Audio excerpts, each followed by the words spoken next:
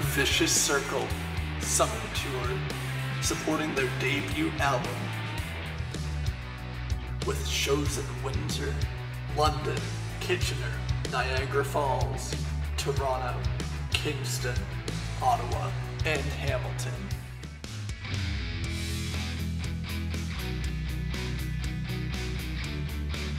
Tickets on sale now. Go to viciouscircle.ca for more details.